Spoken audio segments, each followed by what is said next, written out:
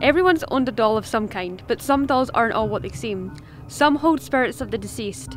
Some have said dolls go undetected, but some are a little more obvious, such as the tale of Annabelle, for example. She's well known for her hauntings, so much so they made a movie of her.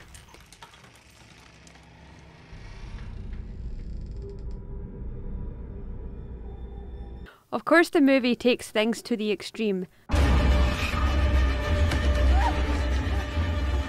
But that doesn't mean the Annabelle's original story isn't anything less than terrifying. I'm still recovering from my investigation with Annabelle. And all of a sudden, like in the movies, the skies just turn black, they're rumbling, and then boom, lightning strike strikes a pole, a light pole, right where my car is and leaves a huge gash on the light. If I wasn't around that doll, would that have happened?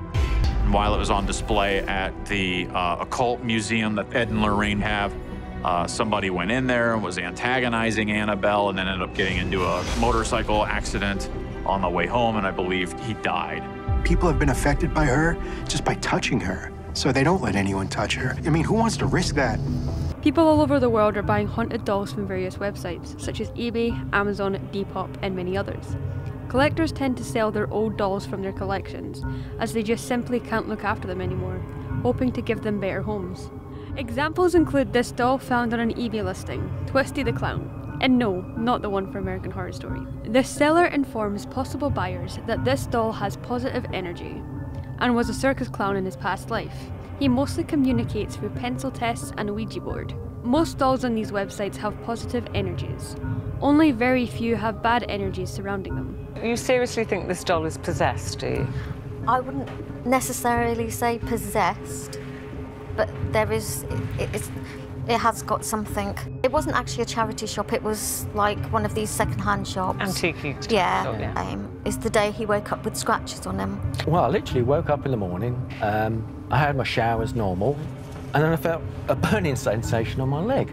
And I looked down, and there was a lot of scratches all over my knee. There must have been a, a dozen or 15 or so, but they looked like cat scratches. So bring this doll home, and I will just say right off the bat, it felt intrusive. Like when you would walk into the living room, I would pass from like the bedroom to the living room to the kitchen to get a drink, and it just caught you off guard and it gave you a weird feeling, you know? Then I started to like get into arguments with people that I don't normally argue with. It was just like all of a sudden I brought this thing home and it felt like it was just a amount of negativity in my life and like I would walk around the doll and I would not get good feelings.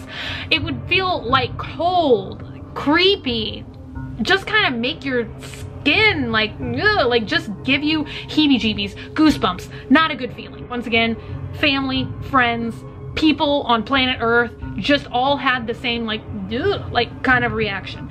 You know, and I felt like literally ever since I brought that doll into my life, it's just been like crazy negative things. I feel like my mood has just been like like not good and I've never had another object that I brought home into my life that immediately I regretted it. Like literally as soon as I brought that doll into the house, I regretted it. And it was like a you did not just make a smart choice. That's the kind of feeling that I was getting. With all this to say, be careful with the dolls you have laying around your house because you just never know.